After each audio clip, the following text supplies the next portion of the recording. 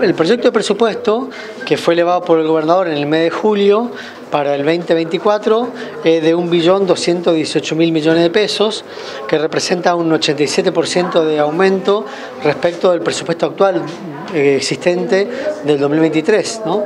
Bueno, fue elaborado con, en ese mes, en el mes de julio, con esas pautas de, inflación, de crecimiento que iba a tener la economía en este año y el año que viene, y en función a esos valores se, proyectaron estos, estos números que, por supuesto, la Comisión de Presupuesto luego en el trabajo que hace eh, puede reformular o enriquecer a partir de nuevos datos que puedan aparecer. ¿no?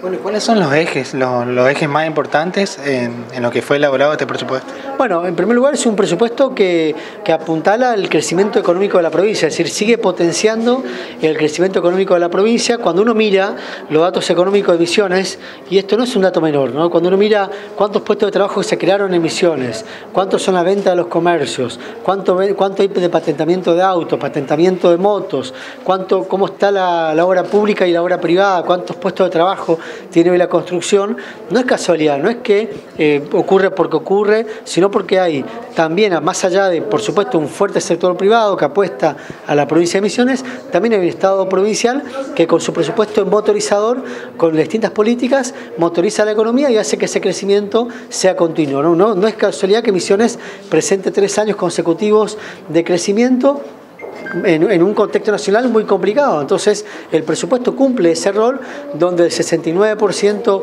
del presupuesto se destina a las áreas sociales, a la educación, a la salud, al desarrollo social. Es un presupuesto desendeudado, es decir, la provincia no tiene importantes deudas o importantes compromisos que tenga que, que afrontar eh, a diferencia de lo que pasa por ahí en la Nación, que en, gobiernos anteriores han tomado deudas y han dejado complicaciones a los gobiernos que después, que después vienen, y también es un presupuesto que destina gran parte de sus recursos a la obra pública.